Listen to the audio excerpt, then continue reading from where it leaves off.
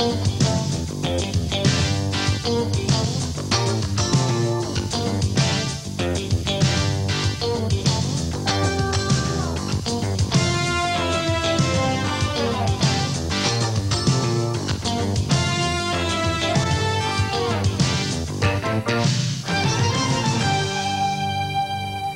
welcome to Fire by Nite. My name is Blaine Bartell. It is good to have you with us on the program this month.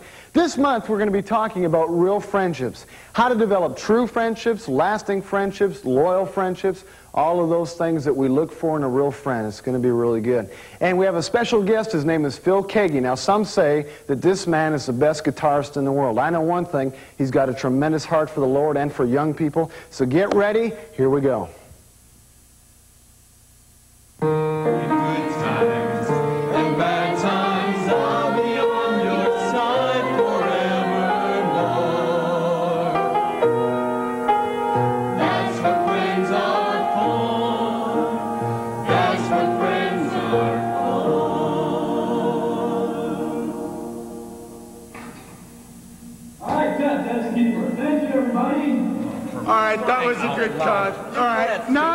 This is it. I want my money. I want to see her. Oh, there we go. I'm gonna go. Wait a minute. Wait a minute. Nancy, would you think Oh, you're so silly around him like that. Would you think it was grown up? You like that. You audacity. You think you're so lucky? I've heard better sounds.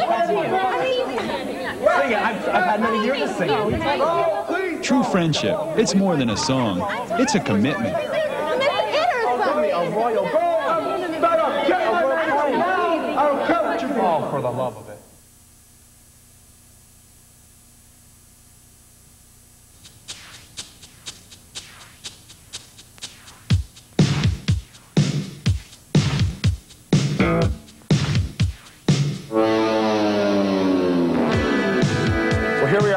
Special guest, Phil Keaggy. And Phil, it's good to have you on the program this month. Thank you, Blaine. Um, for the few who do not know you, and I'm sure it's very few that are out there, why don't you tell us a little bit of a brief history about how you got started and what's happened all these years since? Well, to the very few of you who know me, let me refresh your memory. Uh, I got started in music back in 1961, 62. That's quite, quite a long time ago. But I've been a musician about 25 or 26 years. And see, the reason why I say 61, 62, 25, 26 I don't remember how long it took me to come to the conclusion I was going to play guitar.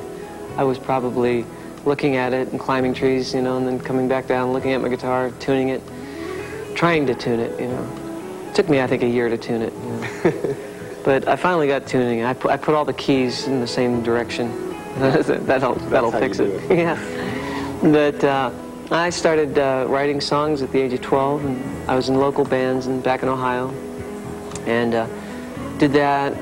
Got more serious as time went on with it, and uh, improved as a musician. And then when I was 17, I started a band with a friend of mine named John Sferra, and we called the group Glass Harp, and three-piece rock group. We we did a few albums, got eventually some good uh, concert dates, opened up for a lot of groups, came to the Cleveland, Ohio area, like Traffic, and we opened up for groups like Chicago, and back in those, you know, the 60s days, you know, like Iron Butterfly and, yeah. and uh, so on. We did three records for Decca, and, and halfway through that time, I, that's when I became a Christian.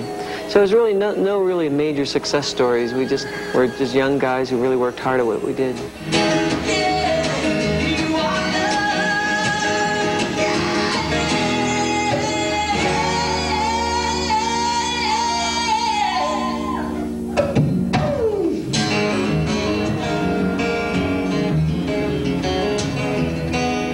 Past, you've played everything from rock and roll that is just kicking to an acoustical type of jazz. And uh, where do you see your musical style headed today? And that's the problem. It's it's going every direction, you know, every which way imaginable. I uh, I like so many styles of music myself that I it's hard for me to lock into one thing and stay with it, which is slightly confusing to the audience and to people who you'd hope would buy your records, you know.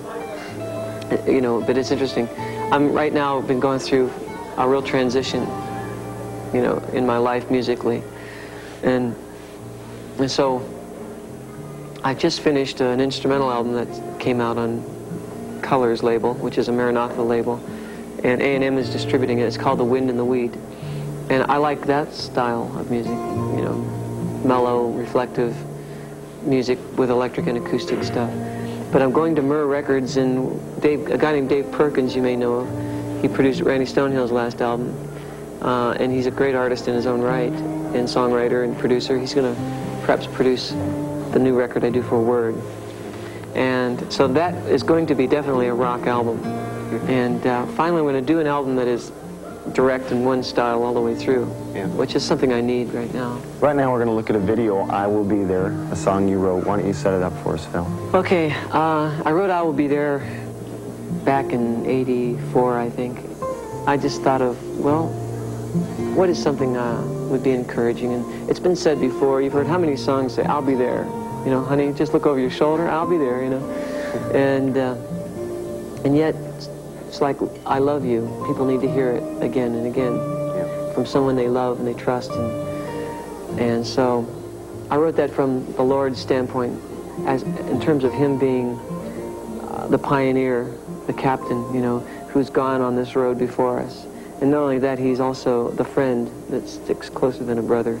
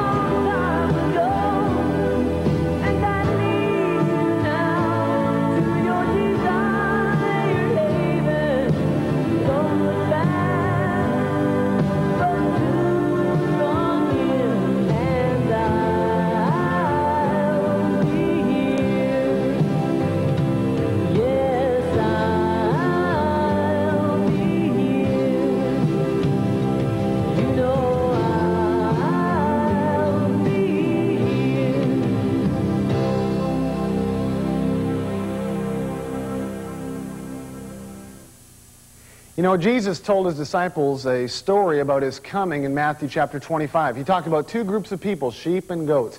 He said that those that fed him when he was hungry, those that gave him uh, a visit when he was in prison, those that gave him water when he was thirsty were the sheep, but those who didn't do those things were the goats. And he said, Inasmuch as much as you've done something to the least of these my brethren, you've done it unto me. In other words, the way you treat your friends, the way you treat the people around you, is exactly how you're treating Jesus. Now, let me ask you something. How would you treat Jesus if he was around you? I guarantee you wouldn't treat him like the way you treat some of your friends. You wouldn't be calling Jesus names. Hey, ugly, you wouldn't say that, and yet you say it to your friends. You wouldn't go over to Jesus and rip him off, you know, and steal, steal a few bucks from him when he wasn't looking. You wouldn't do that to Jesus, but yet we'll do that to some of our friends, and we wonder why we don't have good friends. If you want to have good friends and quality friends, then you need to treat your friends just like you would treat Jesus. And if you do that, you're going to find you have a lot of friends, and they're going to treat you the same way. This is a Jerusalem News Update with Ned Koppelstein. Shalom, I'm Ned Koppelstein, son of Shem the tent peg maker. Our top story tonight, a torrid love affair between this country's number one prophet strongman Samson and that less than respectable Philistine Delilah. That hot little number is causing the Jewish leaders great grief over this harebrained activity. Unheard of! A Jew with a Philistine? With more on this national crisis of compromise, we go to field reporter Irving R. Ravenberg, son of Claude the commentator, standing by Samson and that Philistine dog Delilah. Hi, Nedgy, sweetie. Back down! Stop! Well, Ned, Samson doesn't seem to understand the dangers and the disgrace of this unequally yoked relationship, and he refuses to receive counsel from anyone, including myself. Samson, how can you possibly justify this relationship between you and this Philistine dog? Hey, Earth! It's amazing what I can do with a jawbone. Know what I mean? Yeah, yeah. Anyway, I'm tired of everybody coming down in our relationship. So what? She's not Jew. She's gonna convert. She's just a hair away from becoming a godly woman. Ain't that right, honey? That's right, you sweet dark-haired Jew. Oh. Okay, Samson, it's known that you're a judge over Israel, and you're undeniably the strongest man on the face of the earth. But what I want to know is, what's the secret of your strength? Hey, ain't you or nobody else gonna find out how come my hair's long? I mean, where I got my strength.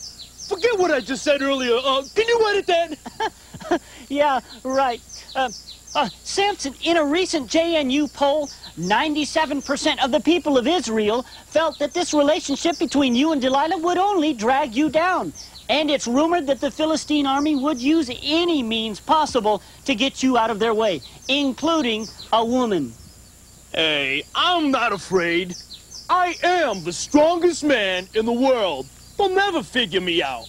Besides, nobody knows Delilah like I do. And if I don't reach her, who will? Tell me that, Mr. Smarty Pants. Right, Delilah? Oh, yeah, Samson. You look sleepy. Let's go back to the tent and get some rest. I'll give you a back rub. Yo, let's go. You news people are always splitting hairs. I hope you learn your lesson on this one. Well, Ned, he may be right. We may be making a big hairy deal out of nothing. But as for this reporter, I don't think so. Back to you, Ned. Thanks, Irving. We'll be expecting updates as the story continues to grow. Boy, that Delilah sure sounds a bit snippy, doesn't she? We'll be keeping a close eye on her. For Jerusalem News Update, I'm Ned Koppelstein, son of Shem the tent peg maker. Shalom.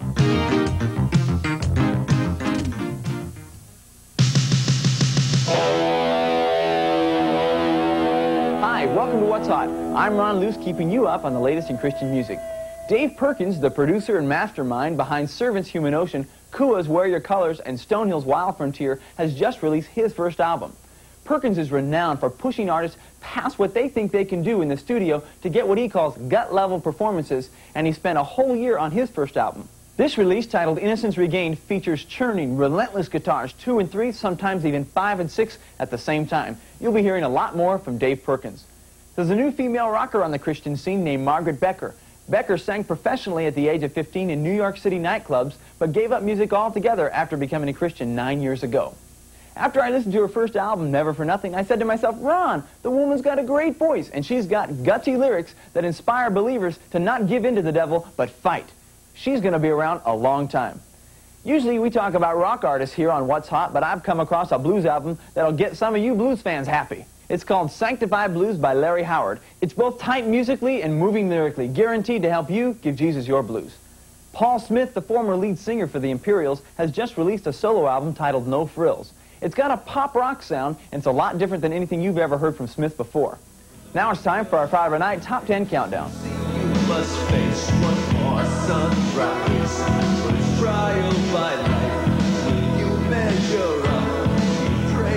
You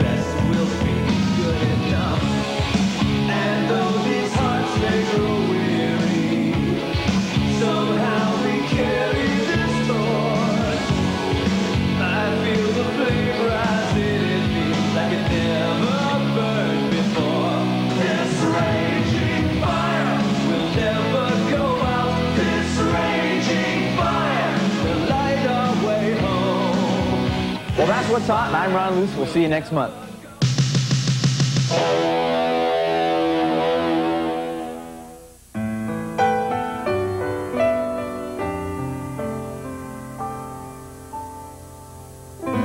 We're back again with Phil Keaggy, and Phil, we're talking this month about friendships, and I'd like to ask you, what qualities do you look for in a true friend? Well, the first thing, Blaine, that comes to my mind is, uh, is trustworthiness. Um, I feel that's a, that's a very needed quality in friendships. Loyalty is part of that. And, uh, you know, sincerity, loyalty, trustworthiness. Someone that you can bear your heart to and share the things that are deeply down deep inside of you and know that that person will hold those things in confidence and support you and and uh, stand by your side when you go through hard times, or whatever, and also rejoice with you when you go through good times. You see, so I think I think that's what people are longing for is someone that they can depend upon, someone who can be trustworthy. Which, uh, but you should never expect those qualities in another person without desiring to meet up to those very same qualities within yourself. Yeah. You know, uh, in traveling as a youth uh, evangelist and being a youth pastor, I have a lot of young people that come to me and say, I don't have any friends, you know.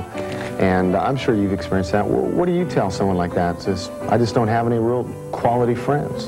Well, it, it's true. There are a lot of kids and people uh, who are in that place. They, they feel like they've been abandoned.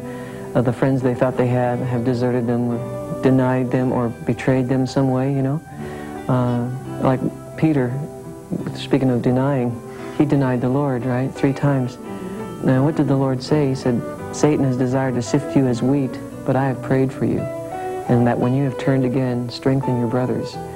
And um, I think the first thing that you should do, should someone have hurt you, you know, in, in fact, is to pray for that person and to forgive them, show forgiveness toward them.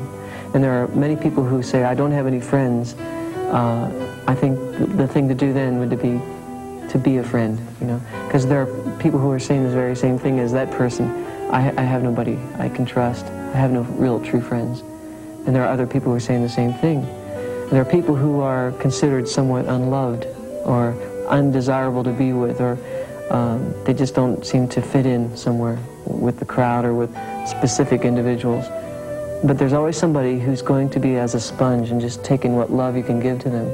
And that's what the Lord's called us to do, is to, is to love others, not because they're loving us first, not because they're going to be our friend, but I think the Lord has called us as Christians to be a friend. You know, that's exactly what he has shown to us. The scripture says that while we were yet enemies, Christ died for us. He, he laid down his life. Greater love has no one than this, that a man laid down his life for his friends. And, but, but bringing it to 1987 here, uh, the, the most important thing is to seek for somebody who, who, uh, who needs a friend. And there are a lot of people. Be a friend to somebody else, and you'll find out you'll have a you'll find a real loyal friend in that person.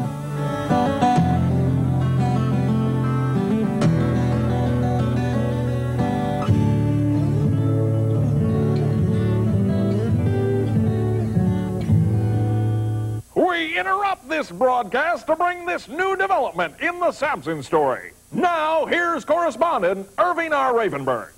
As we expected, the very worst has happened. Samson is now nothing more than a blind, short-haired wimp, and he's being held captive in this Philistine jail. Samson, one question. Why? I loved her. I just knew she could change. I don't know how, but she found out my strength was in my long hair and she cut it. You see, my long hair was my vow of commitment to God. But I guess I put my commitment to her before my commitment to God. Anyway, now it's cut and dry. I made a mistake and I'm sorry. I want my ministry back. Well, I hope you're happy. I, for one, am shamed by your compromise. This has been a JNU special report. I'm out of here. And so, for the most part, is Samson. Hey, Irving, on your way out, could you send that little boy over here? He promised to take me for a walk around the pillars. This has been a JNU special report. Now we go back to uh, something else.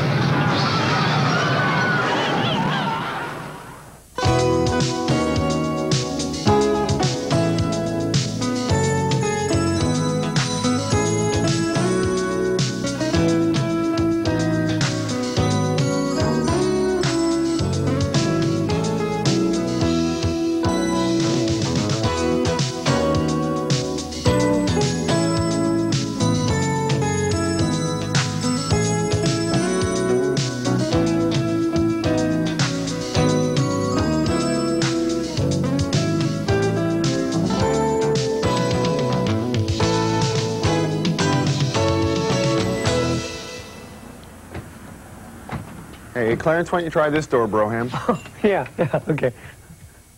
Well, I hope they got the Garmo and Keys new tape. If you buy one, you get one free. What happened? Did they make too many? Trying to get rid of some, huh? No, they want you to take the other one and give it to someone to witness to. It's a good idea. Hey, I got a witness on that. You could buy one and give me the free tape. Clarence, you're already saved. Shh, they don't know that. You are a pinhead, man. That's right, I got a sharp mind.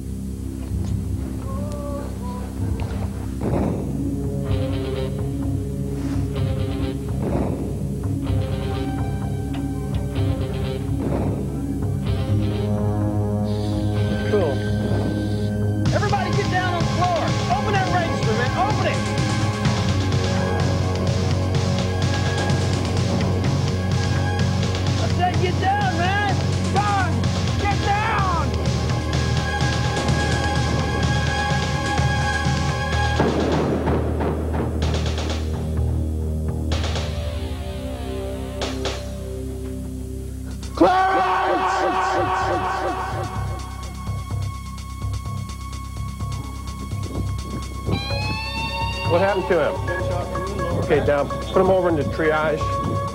Put in two large bore IVs. Call uh, general surgeon. Dr. Bruce, telephone, please. Dr. Bruce, telephone, please.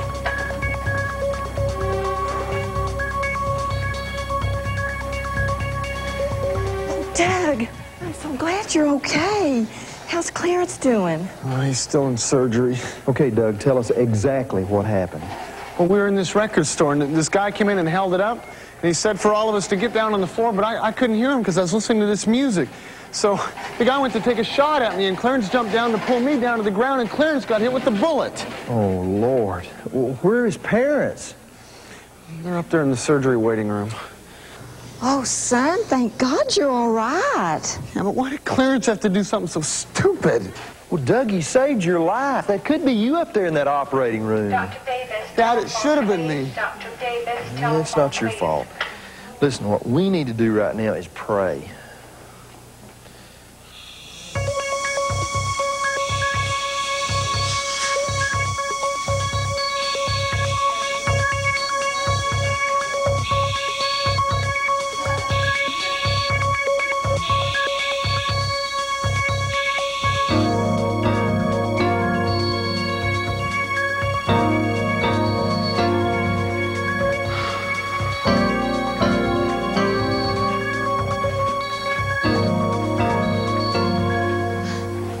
Everybody. I got here as fast as I could.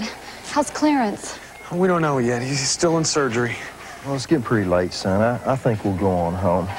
What time do you think you'll be in? I don't know, Dad. I'm just going to be here till I know he's okay. Well, listen, call us if you find anything out, okay? Okay, th thanks for coming. Good night, Shirley.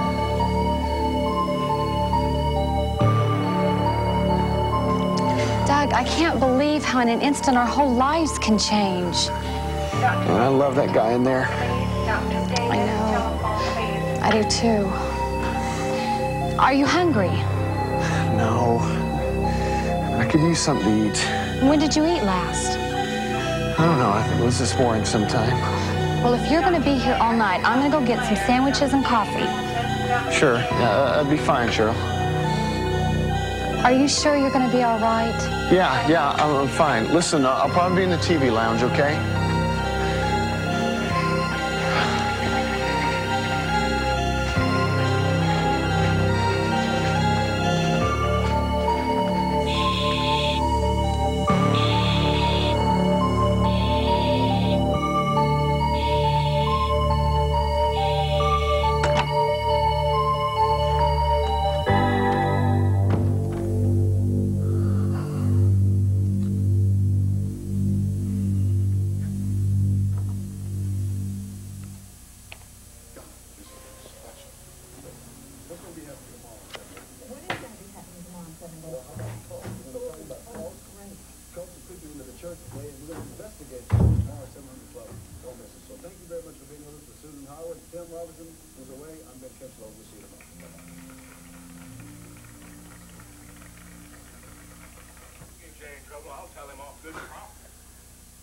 Hey, uh, this is fine.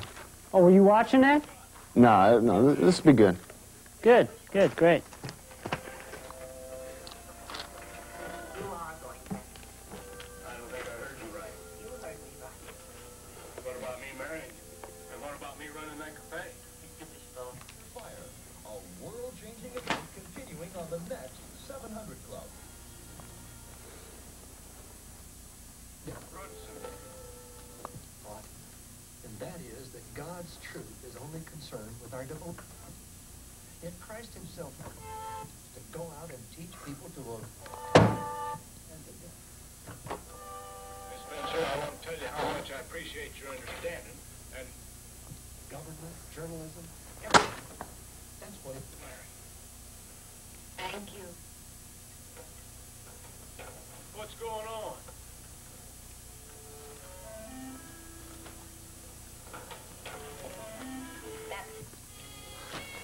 You see that? Uh, no, I haven't seen this. Why don't we, why don't we watch this? Yeah. Yeah, fine. Hey, Doug, I thought I'd find you in here. I just wanted to let you know Clarence is out of surgery. But there's no change in his condition. He's still critical. He's going to make it, isn't he? Well, Doug, you're a praying man, aren't you? Yeah, sure. He's going to need it. If there's any change in his condition, I'll let you know. Okay. Thanks. So, uh, is he a friend? He's about the best friend a guy could ask for. Sounds pretty bad. What happened? We're in this record store, and this guy came in and robbed it. He went to take a shot at me, and he hit Clarence. Now he's in there fighting for his life. Hmm. Sorry to hear that. That's a real bummer. My name's uh, Walter Thornton. Yeah, I'm Doug Collins. Glad to meet you. Nice to meet you. Uh, how long have you known him? Oh, a long time. I moved here from Dallas when I was like two years old, and Clarence was the first one I ever met on my block. Man, we hit it off right away. We did everything together. I mean, we potty trained together. We used to love to play sports. We used to play t-ball all the time. I'd hit the ball, and he'd try to catch it. He never could catch it. We were like the Casanovas of our neighborhood. Just one little girl, she had such a crush on me. it was funny. And then, and then I used to love football, man. I'd get dressed up in my pads and I'd go and I'd take a run at the ball and I'd kick the ball. And Clarence, you know what he'd do? He'd just sit there and play with his trucks. He couldn't stand football. You know, Clarence never was that good at sports, but man, he really tried hard. Well, that's nice. I've never known anybody longer than two years. Two years? How come? My dad, he's in the Army. We're always moving. Congratulations, it's a bouncing baby boy. What? Was it you? No, ma'am. Ah, this is the third lobby I've checked tonight. Where is that kid's father? Man, I still can't believe he did that. I mean, the guy saved my life. He's a hero. And yet he's such an idiot. Idiot? That's a nice thing for you to say about your best friend. No, I, I say that affectionately. I mean, that's what makes Clarence. I cannot believe some of the things he's done. Like the time he formed the Rapture Club. He thought he knew the exact second of the rapture of the church. Rapture Club, unite! Doug, I'm sorry you're not as ready as we are. Just stand by. Okay, everybody, assume rapture position. Start rapture breathing now.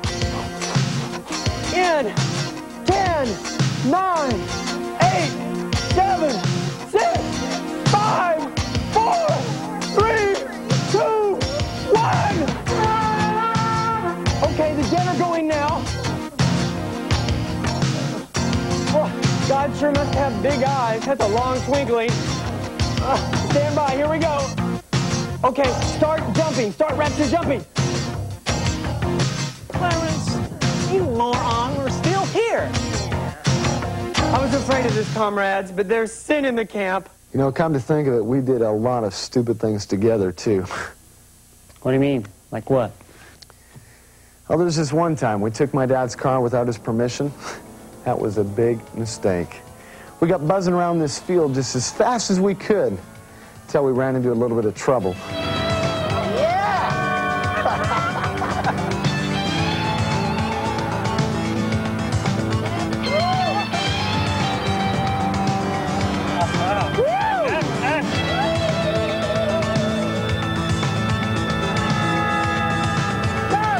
out for that! Rock! I'll tell you what, we learned our lesson the hard way on that one.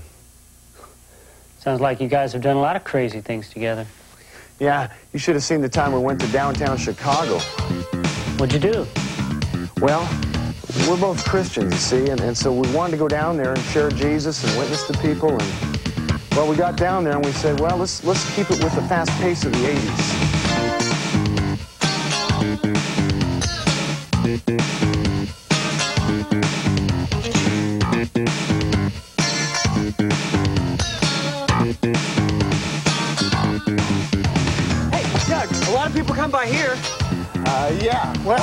Want to ask the Lord to bless this batch? No, I asked him last time. You ask him. Okay. Father, we ask you to guide and direct these tracks to needy heathens. In Jesus' name, and everybody said, Amen. Let's do it. Sounds like you guys had some pretty good times together uh, for being religious. Most of the people I hang around just want to party all the time. They'll stick around as long as the drugs, the cash, and the beer holds out, and then after that, they're gone. I've never gotten to really know anybody. I thought all you Christians did was just kind of, you know, sit around, pray, stuff like that. Well, not exactly. I mean, Clarence and I do pray together, but we've definitely had our differences too. Come to think of it, most of the time it's been my fault. You know, I've taken for granted so many times how much Clarence really cared for me. Like the time, oh man. Like the time my friend Jim Hardy died. What a time in my life. Jim was killed in a car accident, and the thing was, I was with him just a few minutes before, and I thought I could have stopped it from happening. I went through this real heavy guilt trip and thought it was all my fault. Oh, Clarence, he really tried to help. I was such a jerk. Come on, Doug. It's been three weeks, man. There ain't nothing you can do about it now. When are you going to shake it off? You look so low, you could play handball against the curb. Clarence, I'm not in the mood for your jokes, all right? Look, Dougie, there's one thing I've patterned my life after. It's when the going get tough, a lot of other people get going with them, and that's what you got to do too. Clarence, I've seen better heads on a mug of root beer. Why don't you go take a long walk on a short pier? Get out of my life. Whiz, all right, no problem. Just trying to help. Some best friend you turned out to be. Clarence, come on. Hey, you Hey, Doug, you're missing it. They're giving Clarence a swirly.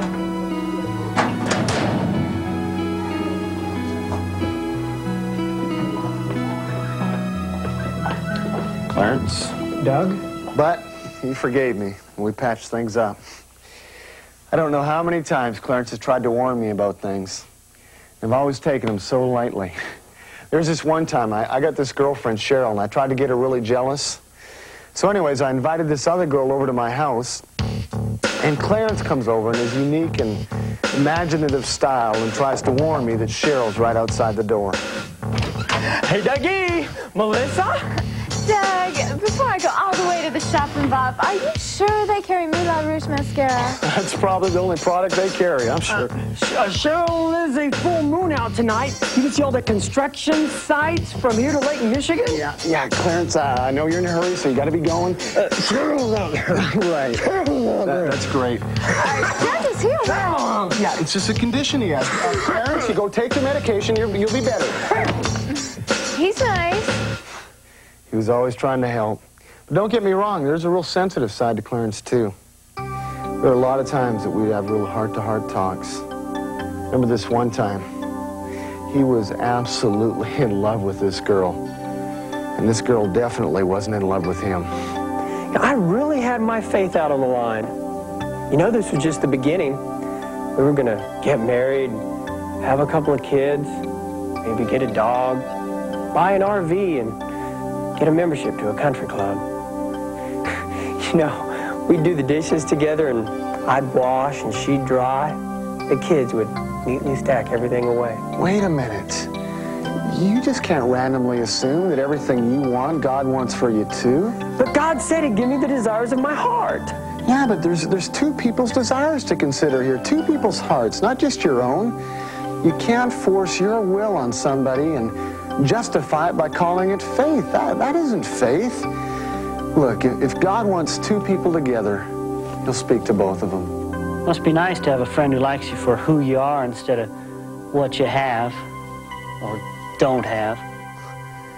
You know, the reason our relationship has grown so strong is because, well, we both have a mutual friend. And he laid down his life for both of us. I mean, this isn't the first time something like this has happened to you? Man, you're a dangerous guy to be around. No. Listen, Walt. The Bible says that while we were yet sinners, Christ died for us. Wait a minute, man. I'm not ready to get religious or become a Christian or join your church or do any of those kinds of things. So why don't we just drop it? Listen, I'm not hitting you up to join my church. I just know that the reason Clarence and I have grown so close is because of our love for Jesus. And I know he's the only basis for a true friendship. Wait a minute. I know a lot of people who aren't religious and they're friends. Well, all I know is I have friendships that are real, they're lasting, they're unselfish, and they're eternal. It's because of one person. His name's Jesus, and he loves you. Mr. Thornton, the doctor can look at your hand now. Great.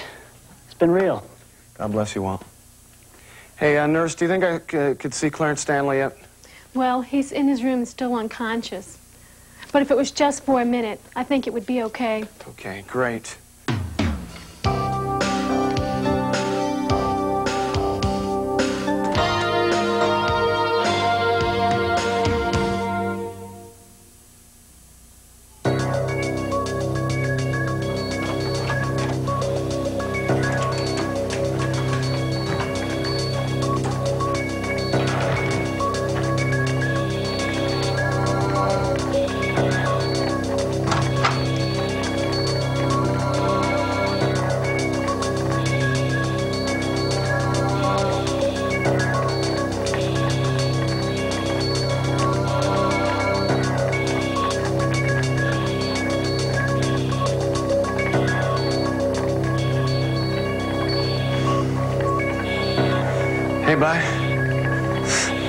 It's one way to get out of school, huh? Hey, you to see your nurse. She is a knockout. I'm sorry. I didn't mean to word it that way. Hey, Clarence, can you hear me? Can you hear me? I'll tell you what, let- let's do a test. If you can hear me, don't move. Great. Great. Listen, Clarence, I want you out of this place as soon as possible, all right? I mean, we got a lot of crazy things to do yet. Hey, we, we prayed for you, man. God, God's going to raise you up. I've never really told you this before. But I, I love you. Big donut head. Well, yeah, listen, if, if you wake up in the next few minutes, why don't you tell the doctor to come get me in the chapel? I'll come help you pack. We'll get out of this place, go catch the late movie.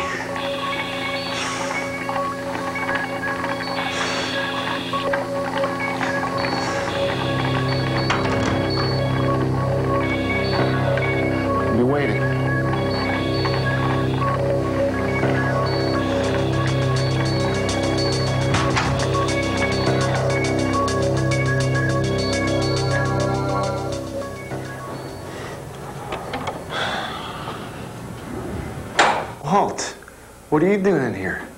Is everything going all right with your hand? Yeah, my hand, my hand's fine.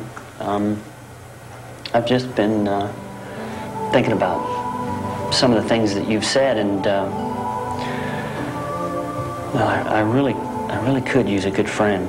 Um, this is a little awkward for me, but do you think you could pray with me? I'm not going to join your church or anything like that, but well, you know what I mean.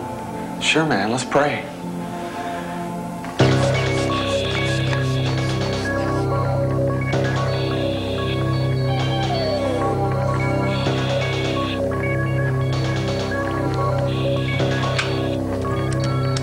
Dr. Williams, come to 2501 Stead. I'm not getting the blood pressure.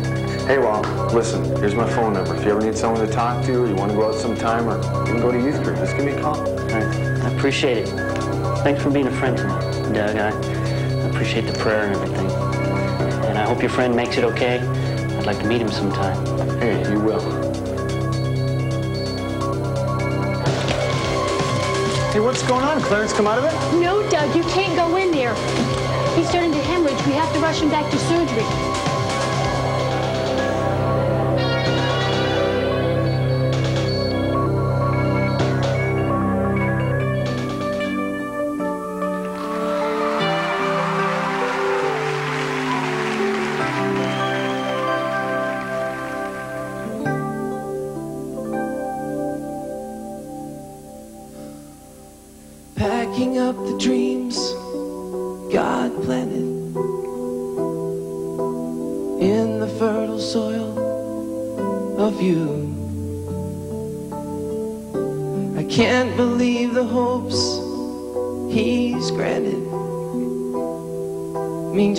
Chapter in your life is through. But we'll keep you close as always. It won't even seem you've gone. Cause our hearts in big and small ways keep the love that keeps us strong.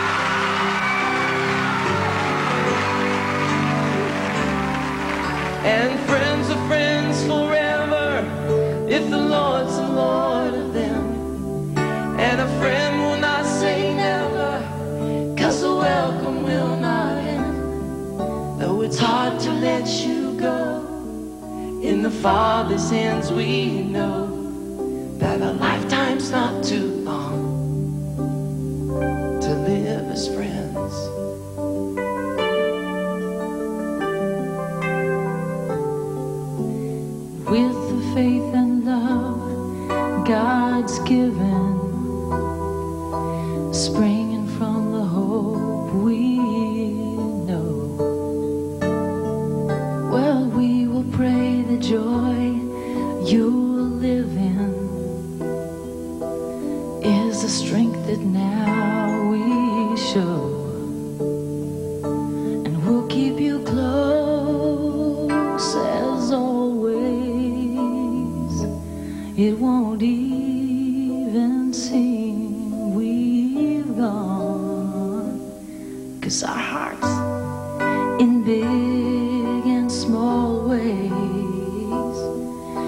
keep the love that keeps us strong.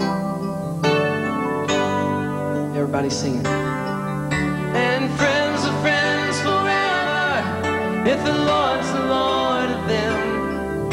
And a friend will not say never, cause the welcome will not end. Though it's hard to let you go, in the Father's hands we know that a lifetime's not too long to live as friends. And friends are friends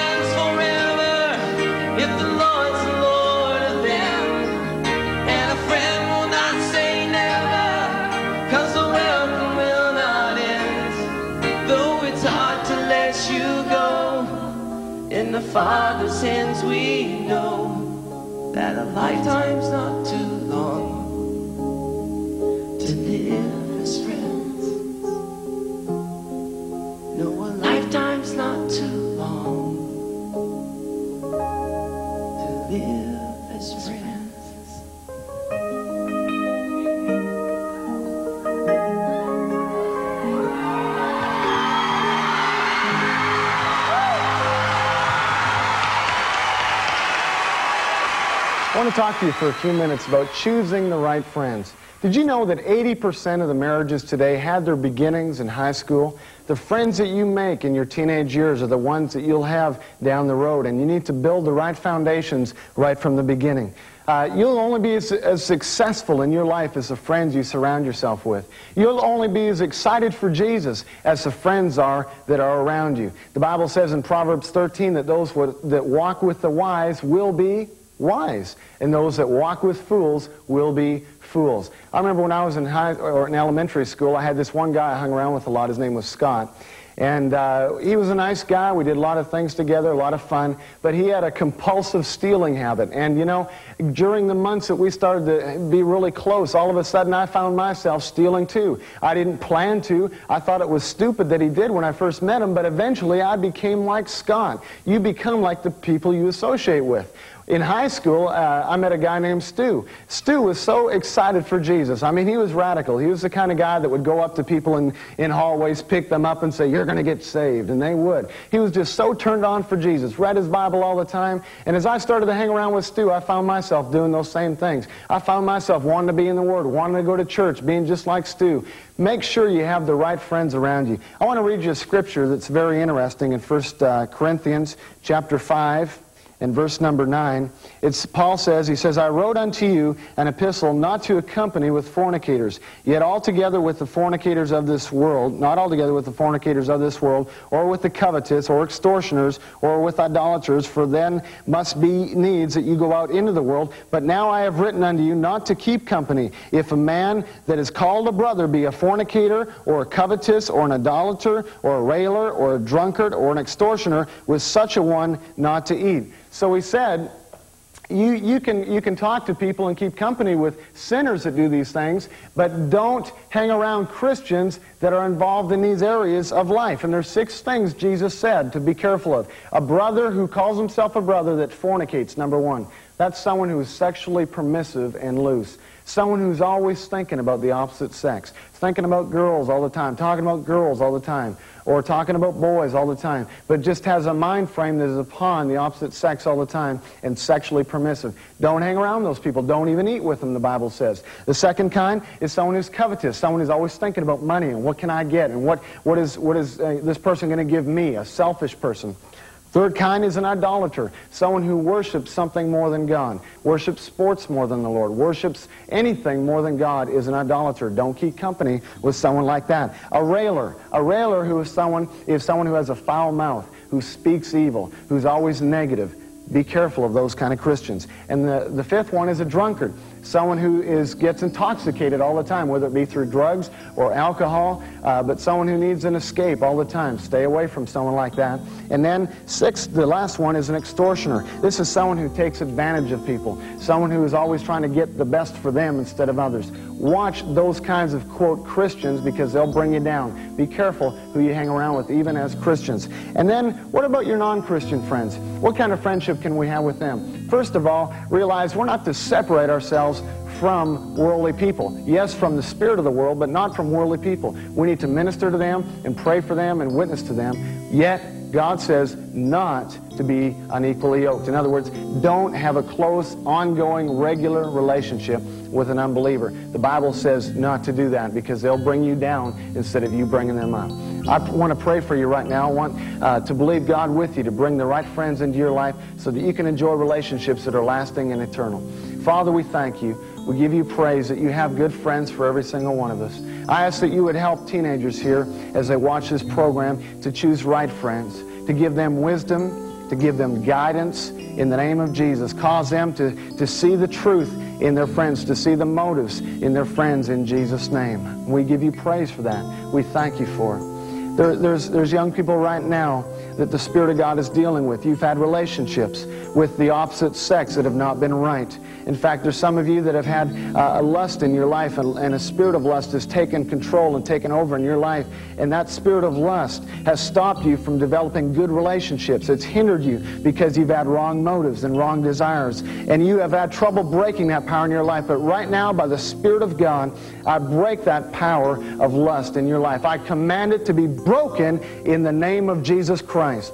There's some of you that have, that have had relationships that have been unequally yoked. You've been hanging around sinners too much. They've been your best friends. You've been spending all your time with them. And in the name of Jesus, God is saying to break loose of those relationships, not to quit talking to them, just stop hanging around them so much because there's a compromise that's entered into your life. So in Jesus' name, I pray, Father, you give these young people courage to make a stand.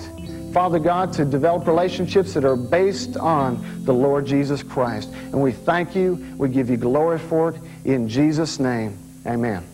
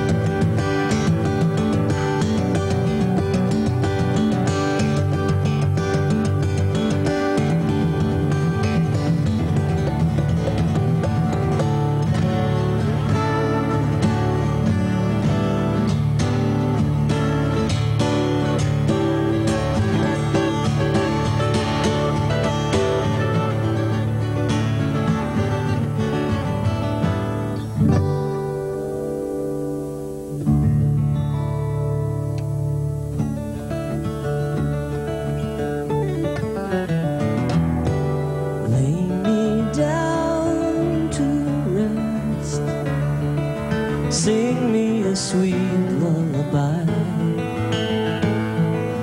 When will I see you again? Sleep come over me. Can't keep from closing my eyes. The day is gone, but you carry on, watching, protecting me into the dawn. Then another day to spend my life with you.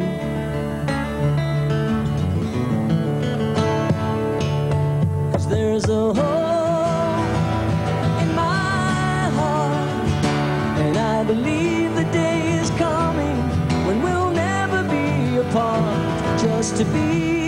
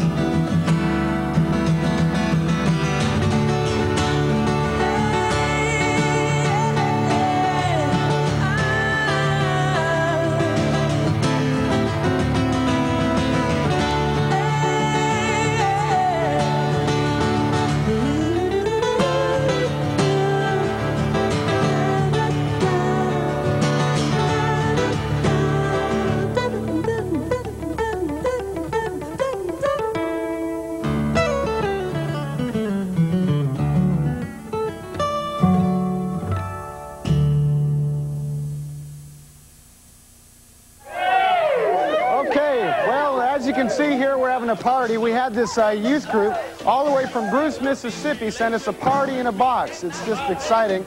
And uh, we've had a lot of good mail this month, actually. We had this other card sent by a youth group from New Mexico. They even took a picture and sent it, full-scale picture, man. So we're excited. We're having a good time. We want you to remember that next month we're going to have a very special guest, Kim Boyce. And never forget, Jesus is your best friend. All right. Hi, ladies and gentlemen. Mr. Bryan Duncan here with a Y. It's really a great privilege to be with you. Um, I've been working on doing Phil Keaggy. I got I got the face down and everything. So uh, I really hope that you've enjoyed this program. Have you ever seen this one? Hi. Bye.